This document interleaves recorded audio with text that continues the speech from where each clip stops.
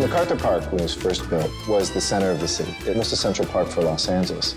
But over the years, it met a lot of decline. And then Levitt Pavilion came in as this spark, this spark in the entire community, not only enriching the experience for people who live there, but bringing people who hadn't been to MacArthur Park in years, if not decades. This is a great partnership for us. You can have the best cleanup in the world, but if there's nothing in between that keeps people actually active and participating, it will just go right back to being a dirty, neglected place.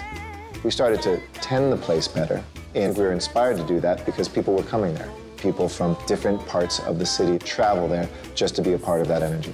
The vitality that you see there is a real model of urban revitalization, not just in the city, but for the United States. It's creative placemaking.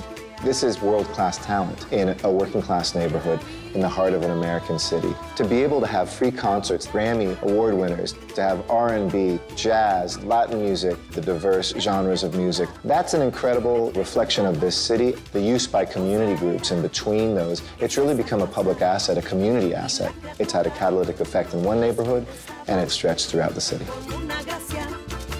Levitt Pavilion is about community. It's about what's possible. Levitt Pavilion is LA. Se fue, se fue